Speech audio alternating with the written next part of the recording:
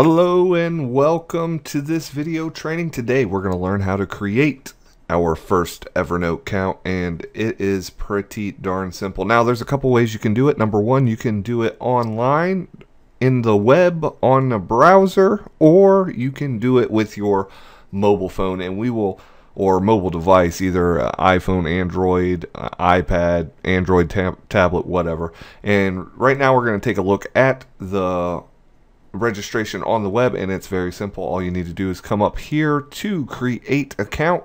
Click on create account and it's going to ask us for some information uh, email address username password and you just need to enter in the little uh, captcha down here and click register. It really is as simple as that. Next let's look at mobile devices really quick Okay, now we're going to take a look at how you can get set up on your mobile phone. This is actually a screenshot from my iPhone and on the iPhone I'm sure on an Android it looks very similar all you need to do is download the app from the Apple App Store or the uh, Android uh, Google Play Store and after you do that just click on create account once you click create account whoa this is going to pop out up and you simply put in your email, username, password, click register. And it really is as simple as that guys to get an Evernote account set up and going.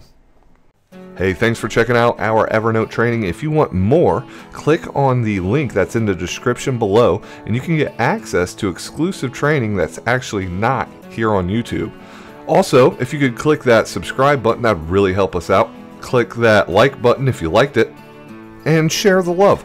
Uh, hey, I just want to say thank you for checking out the training. You can also get more by clicking on the video on the right or on the video on the left to continue your Evernote training. Thanks, have a fantastic day. Leave any questions you have in the comments below, and we will do our best to answer those for you. Thanks, have a great day, and hopefully I'll see you on the beaches of the world.